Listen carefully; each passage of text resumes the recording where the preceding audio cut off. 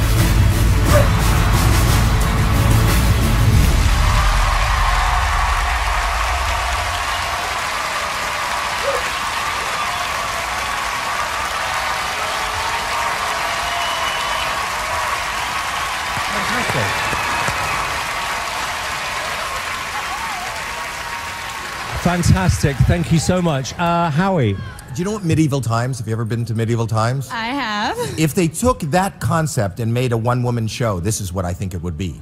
Okay. what? I didn't see an amazing trick. I didn't see one amazing trick. He's allowed his opinion. It's okay. No, he did some flips and kind of jumped off a butt and did another weird flip. I would like to see more. He's so cute. Okay. Uh, Mel.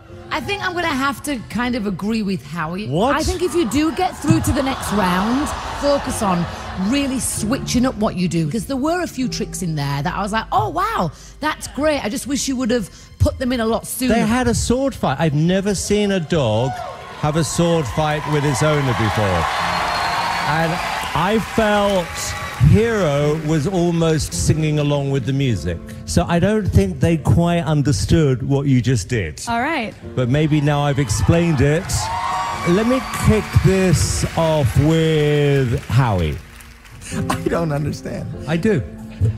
I don't. Okay. I don't. That's okay. So I'm going to say no. Yes or no, Mel? I'm sorry, I'm going to have to say no. What? Just try it. Get it.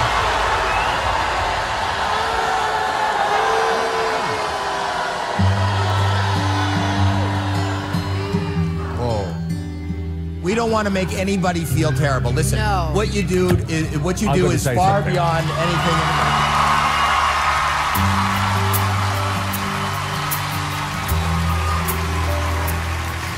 Look, I've never done this before, never, but I'm asking you, on behalf of Sarah and Hero, Mel,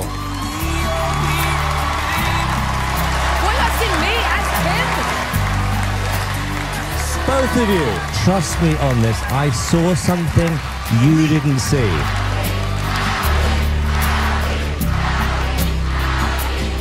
Okay, okay, I'll tell you what. I'll tell you what. I know people like dogs, so I'm gonna. I, I feel so bad. This is emotional. I'll change it to a yes. Mm.